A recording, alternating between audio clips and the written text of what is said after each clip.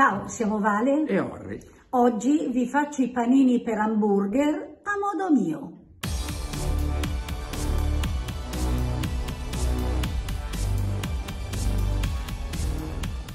Ingredienti per panini per hamburger. 480 g di farina zero, 290 ml di latte intero, 70 g di burro, 40 g di zucchero semolato, 8 g di sale, 8 g di lievito di birra, un uovo e semi di sesamo. Inizio la preparazione dei panini per hamburger. Nel mixer metto la farina,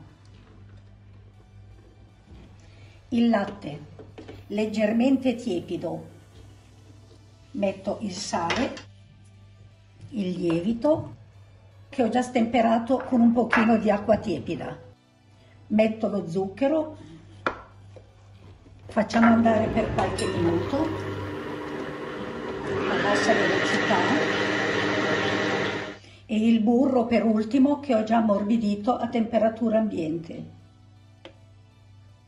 Adesso faccio andare il mixer per 8-10 minuti a bassa velocità.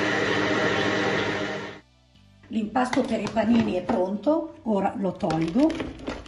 Sono passati 10 minuti del mixer, ora lavoro un po' la pasta e poi lo mettiamo a lievitare. Mi sporco un po' le mani di farina, solo le mani, perché non dovrebbe più appiccicare. È bello morbido, lo mettiamo in una terrina e lo copriamo con la pellicola alimentare. Lo metto in forno spento con la luce accesa per due ore. Ci vediamo dopo. Sono passate due ore, la pasta ha lievitato, ora la tolgo dalla terrina.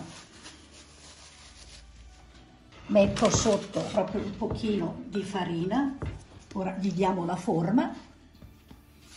I panini li faccio da 100 grammi circa, un etto.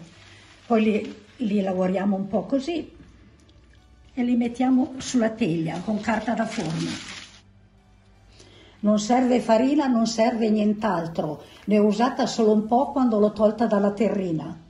Li lasciamo un po' staccati uno dall'altra. Adesso ho l'ultimo poi li metto in forno ancora coperti con un canovaccio, sempre il forno spento con la luce accesa per un'ora ancora a lievitare. Ci vediamo dopo.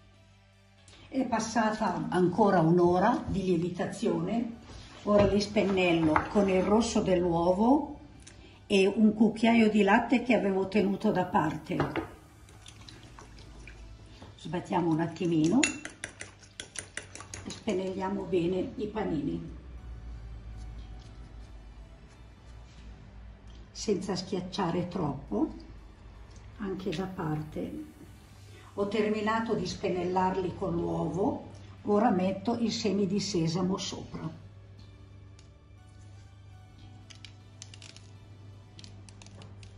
sono pronti. Ora li rimetto in forno spento con la luce accesa ancora per 30 minuti non coperti. Ci vediamo dopo.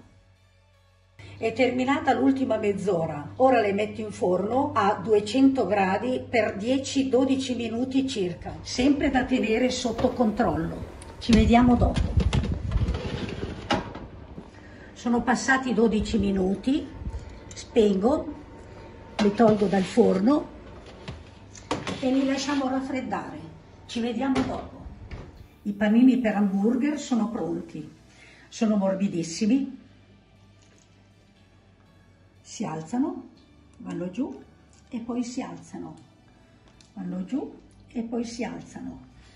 Sinceramente a me piacciono anche con la Nutella e anche da soli così. Questi sono i panini per hamburger fatti a modo mio. Buon appetito!